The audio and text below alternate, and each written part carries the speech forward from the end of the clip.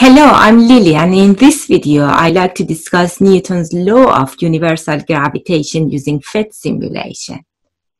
We talk about force which is responsible for keeping a planet in orbit around the sun and the factors that affecting the magnitude of this force.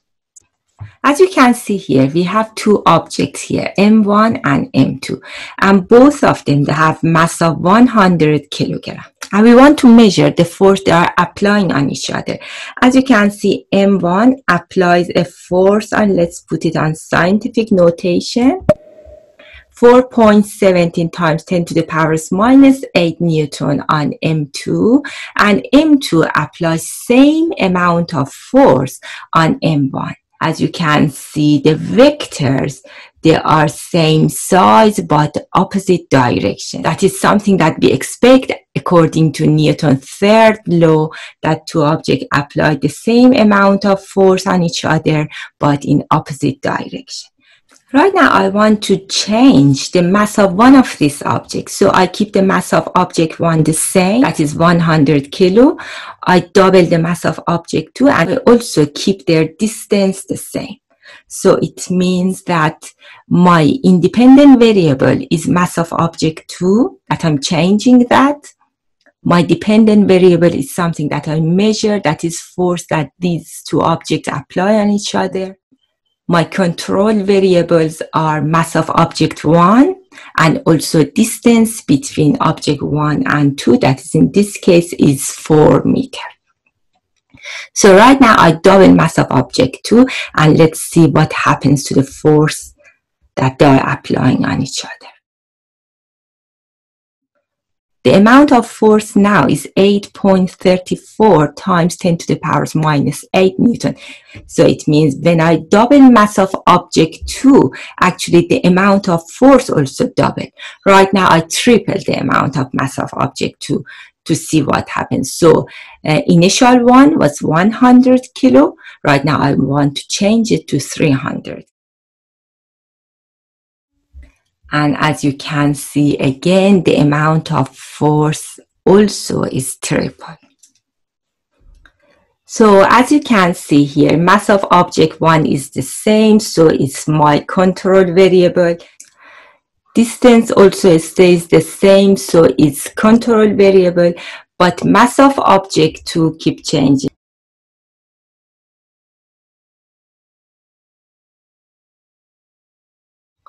So what's the conclusion? Can I say that the force that these two objects applying on each other actually is proportional to mass of object 2?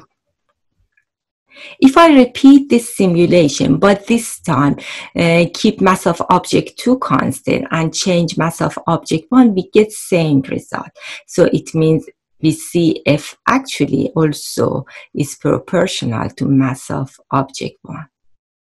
So, so far we can say the magnitude of force that these two objects applying on each other is proportional to m1 times m2.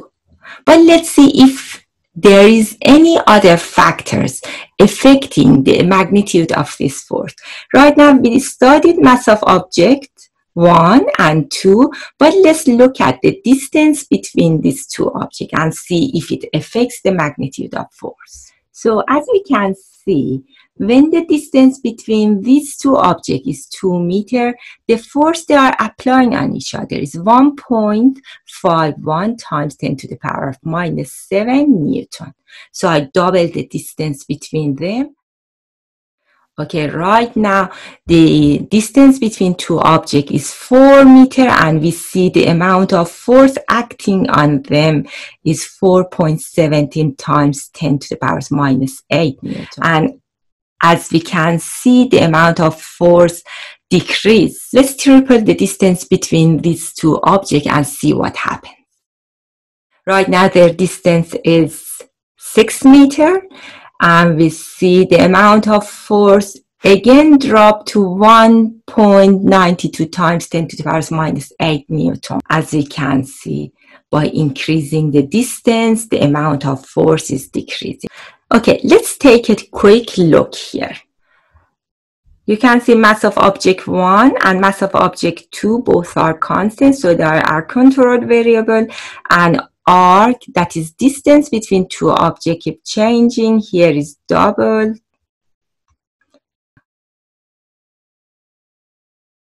Let's see what's happening to force.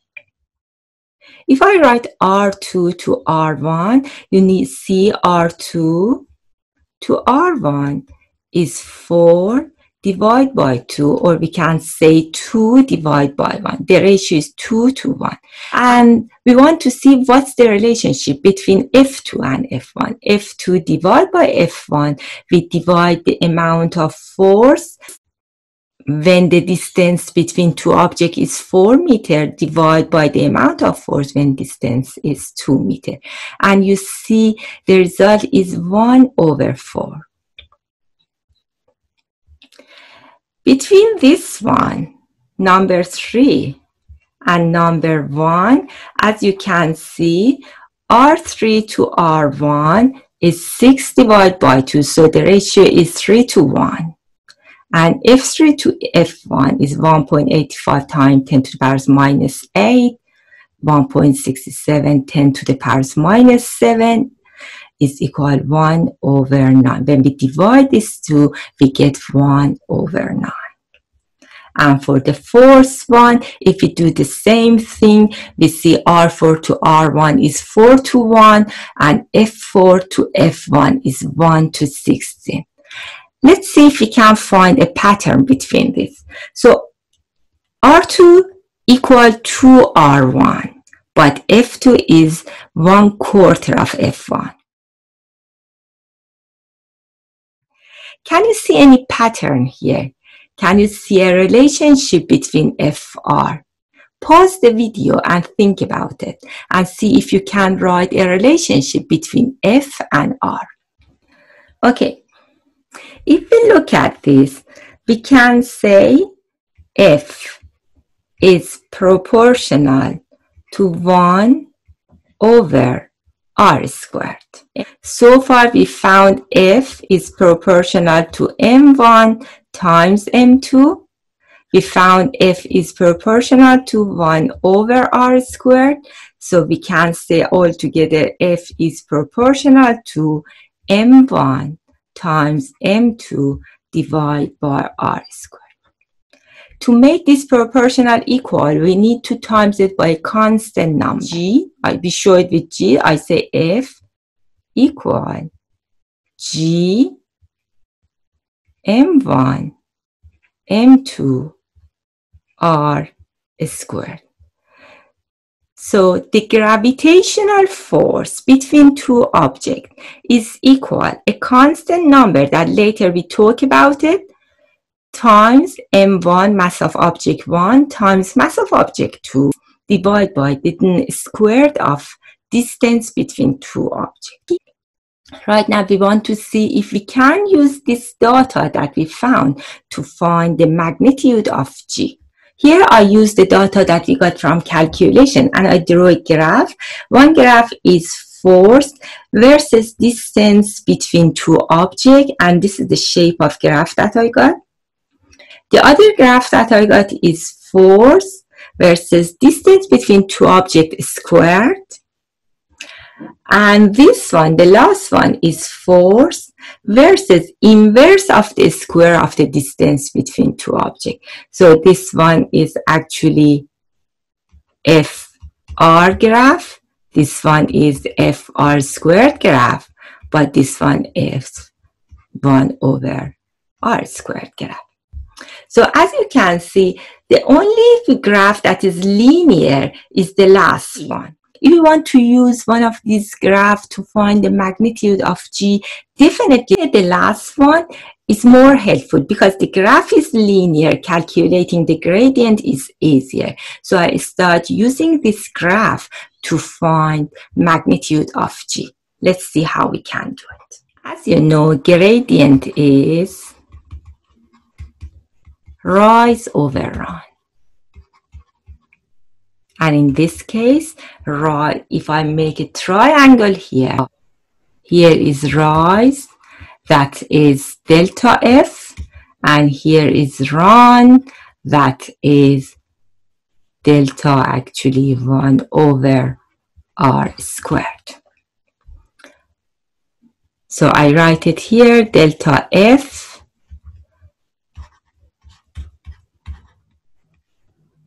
and just I substitute number using our graph. So it's equal to the amount of f here, that is 1.67 times 10 to the power of minus 7, minus the amount of f here, that is equal to 1.04. And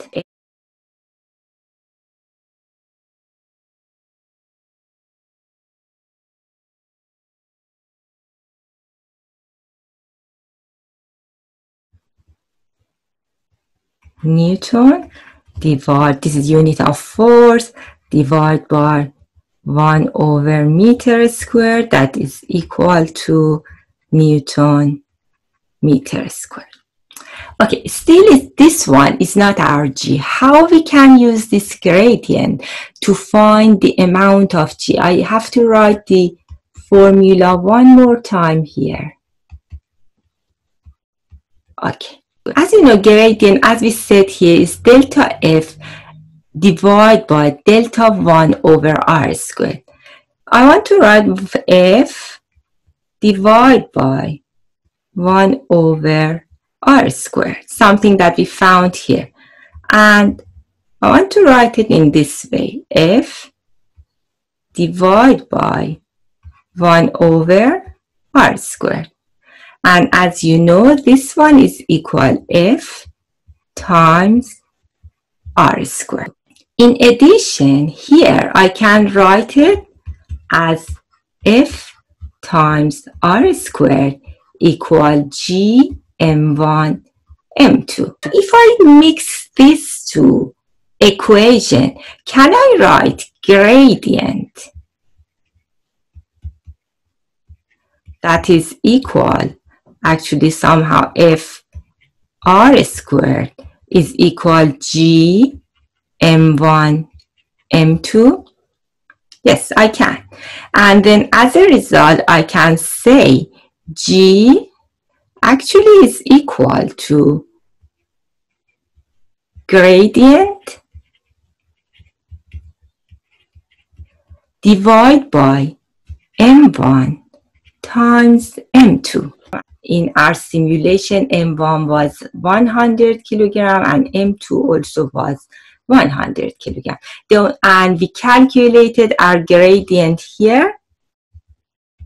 So I want to use our gradient and the amount of M1 and M2 and find the G. So I substitute numbers here.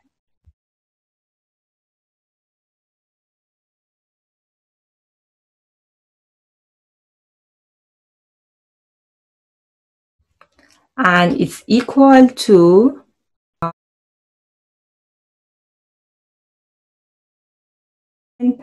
that the unit is we know gradient unit was Newton meter squared and M1 and M2 is kilogram. So I can say the unit is, I write it here, just not mixing with this, N M squared divided by kilogram squared.